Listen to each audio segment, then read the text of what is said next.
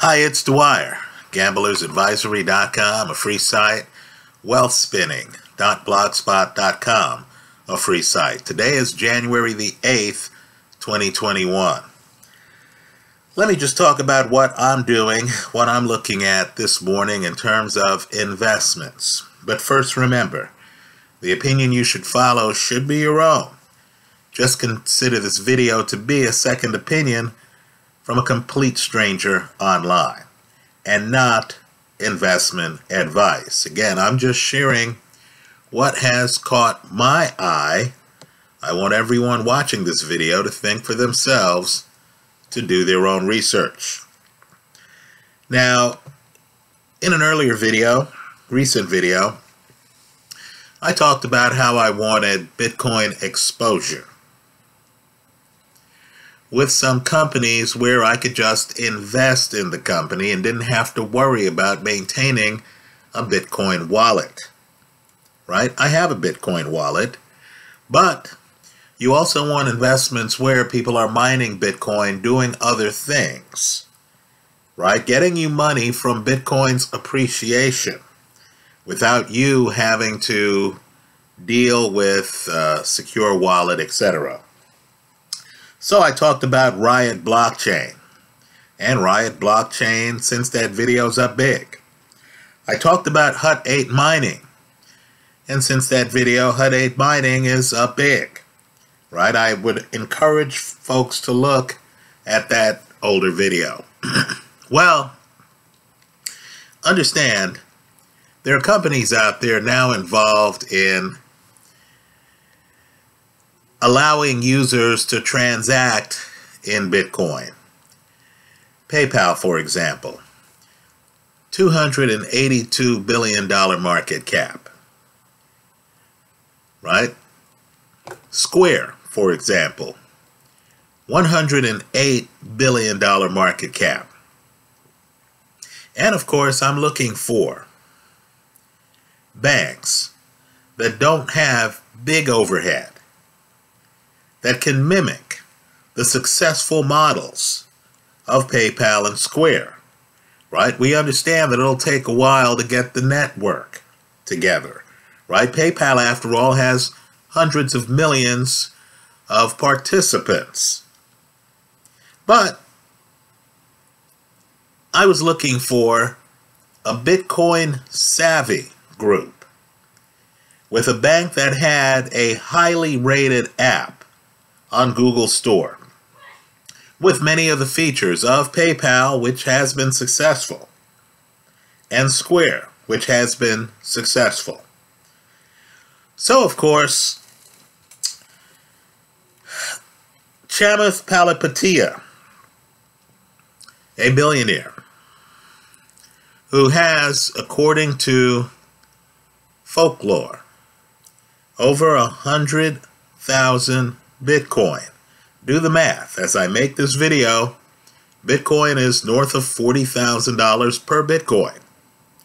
Right? Chamath has over a 100,000 Bitcoin. Not a $100,000 in Bitcoin. Right? That would just be two and a half Bitcoin. No, he has a 100,000 plus Bitcoin. He was an early adopter he bought Bitcoin very early. And understand, he's a major player. Right? He's part owner, for example, of the Golden State Warriors. Well, understand, Chamath has what's called a Special Purpose Acquisition Company, a SPAC. He has a few of them, but we're talking about one in particular that can be found on Robinhood. Right? The symbol is IPOE. Again, the symbol on Robinhood is IPOE. Right? You don't have to use Robinhood. You could look it up yourself. I'm just telling you what I'm doing. Right? It's a social capital SPAC. Now understand, Chamath already is one of the major shareholders of Virgin Galactic, which he merged with using a SPAC. Right? He's been involved in the world of SPACs because it allows him more flexibility than just providing seed capital for a company earlier on. Right here with a SPAC, where you set up the SPAC and then you merge with your target company, and it's a friendly merger. It's not a hostile takeover. The company that you're merging with has been around for years. They have books that you can study. You can talk with management. You can find out all about the company. You could work out the seats you're going to have on the board, the corporate structure after the merger. So, what I want people to realize is right now, Chamath's SPAC, the symbol is IPOE, is merging with SoFi. And the merger, which you could get a part of by buying into IPOE now, would value the company not at $282 billion, which is the market cap of PayPal, or $108 billion, which is the market cap of Square. Now, here you would have a company with a Bitcoin experienced owner in the financial space at a valuation of 8.65 billion dollars. Right? This is less than a tenth of the market cap of Square. Right? Less than a tenth of the market cap of Square. Now, let me just say, as part of my due diligence, I downloaded the SoFi app. Right? Understand, SoFi is already high profile. If you follow the Los Angeles Rams, you know that their brand new stadium is named after SoFi. Right? They bought the naming rights. This is while the company was private. So when you watch Ram games, you're going to hear about SoFi. Right? The Chargers also play in the stadium. Well, let's just put it this way the app is highly rated on Google Play Store by users. It's highly rated. You go through the app, and it's very similar to Square in terms of ease of use. Right? You can do a lot of things with the app, and I notice the app also is kind of like a well versed financial friend. You could tell that SoFi's target market aren't older people like me, it's really younger people, millennials, Generation Z. And you'll notice the app currently, this is before Chamath, who has over 100,000 Bitcoin, according to folklore, right, has taken over the company. The app already allows cryptocurrency trading. Understand too, SoFi doesn't have the malinvestment, we'll call it. The investment in downtown corporate offices, the overhead that many legacy finance banks have.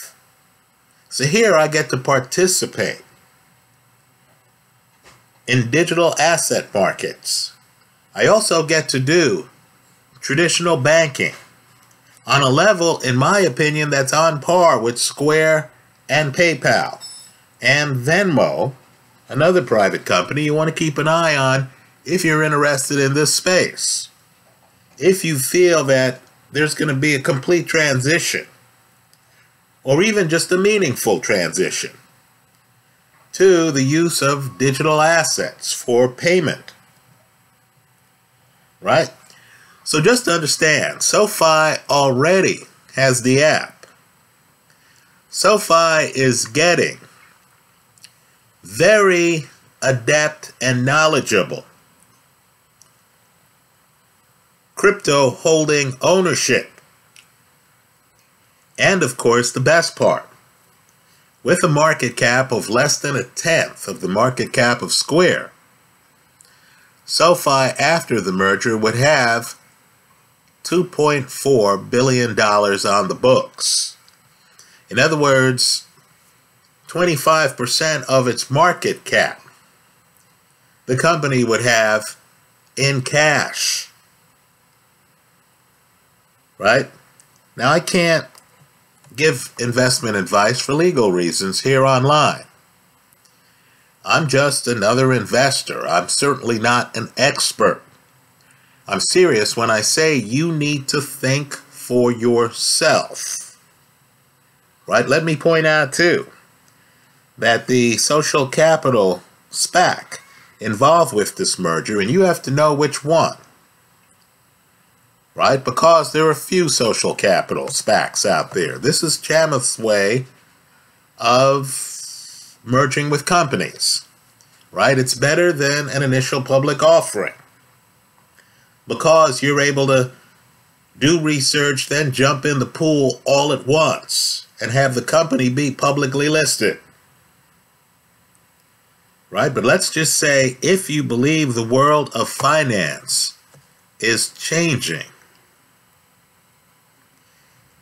if you like the idea of a company that already has a name out there, that already has name recognition, that has savvy management right now, Anthony Noto is one of the head honchos of the company right now. And that's about to add Chamath to the ownership ranks at a price that's less than a tenth of Square. Right? That's less than one twentieth of PayPal. Then for me, this is a deal to consider. Now I've dipped my toe in the water. I picked up some of Chamath's SPAC. Again, its symbol is IPOE. Understand it's available right now on Robinhood.com as well as other exchanges. It's publicly traded. Understand you buy the SPAC, you don't have to do anything else. Right? Once the merger takes place, you'll own a share of SoFi a lean company without heavy overhead with cash reserves, very affordably priced. I like this deal. I'm just speaking for myself. I'm telling you what I'm doing. I have my toe in the water. This way, when I pull up my portfolio, I can keep an eye on it.